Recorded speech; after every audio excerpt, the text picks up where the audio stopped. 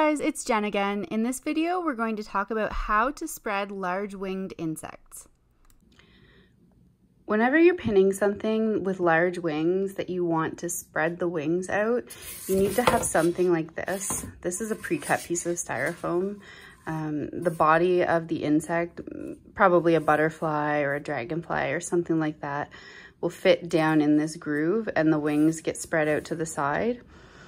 Um, you can also just take a regular piece of styrofoam like this and you could take a knife and cut a groove into it depending on the body size of what you want to spread.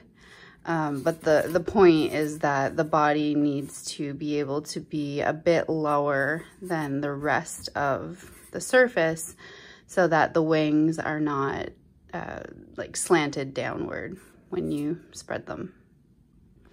In order to spread the wings of a butterfly or a dragonfly, you need to cut some strips of paper. Um, the length and the width of the paper really depends on the size of the insect you're spreading and the size of the wings. So these are ones that I will be using to spread a Luna moth. And so that's quite a large, quite a large moth. And um, you'll kind of be able to judge for yourself how big your pieces of paper should be. Uh, the whole point is that you want the paper to be wider than the wing because as you'll see, when we put the pins in the paper, we don't want the pins to actually pierce the wings because this will damage the wings. Okay, so before we can talk about how to spread the wings of a moth or butterfly um, or other large winged insect, we need to first talk about how we pin them. So for moths and butterflies, you can see these guys have pins straight down through the body. And this needs to be done first before we spread the wings because you need at least one pin holding the insect in place while you're trying to spread the wings out. Otherwise, it's just gonna move around a lot and be really frustrating. So when we pin moths and butterflies, um, the pin should go straight down through the body uh, through the thorax actually, uh, and be perpendicular to the body. So these moths are actually all ready to have their wings spread.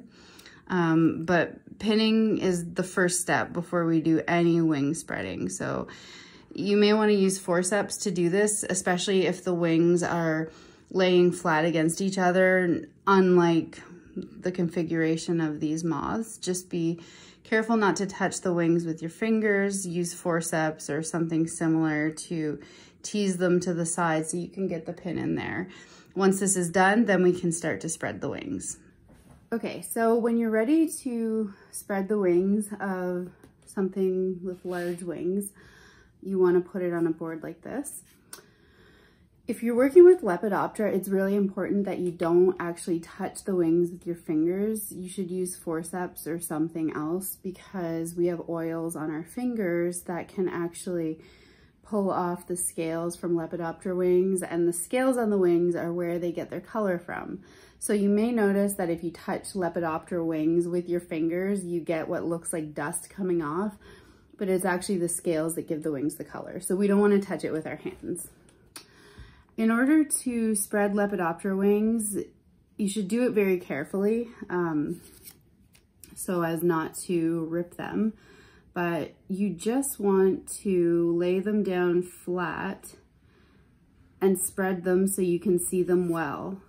Once you've laid them down, you put down a piece of paper and you're going to pin on either side of the paper but not actually in the wing. So make sure that those pins are not going into the wing. We're gonna do the same thing on the other side. One thing to be careful of is for aesthetics, you want the wings to ideally be the same height. So we don't want one wing much higher than the other. So we wanna try and get these even on either side.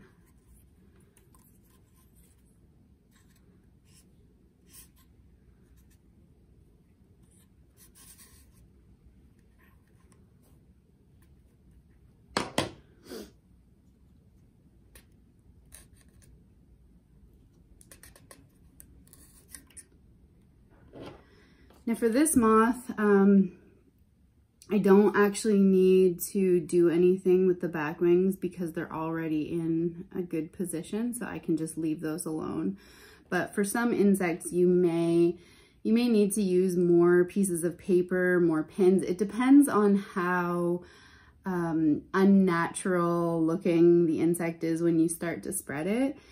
If the wings are very mangled and need a lot of readjusting to get it to look nice when it dries, um, then you may need to use more pieces of paper and pins to hold it in place.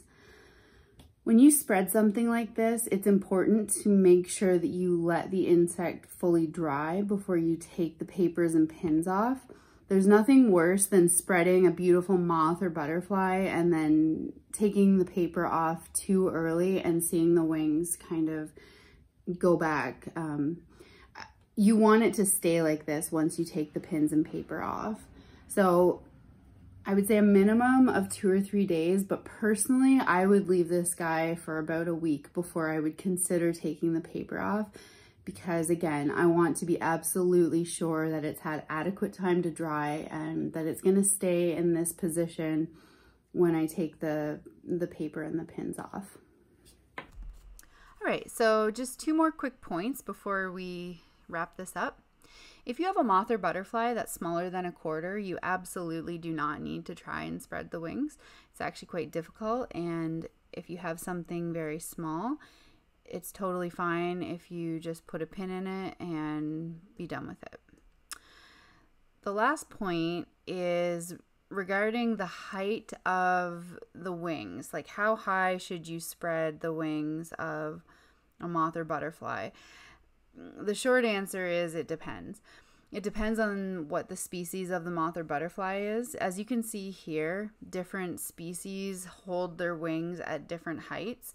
So you can consult D2L for some examples of um, images of different uh, pinned and spread moths and butterflies in order to try and get an idea of how high the wings for your particular specimen can or should go.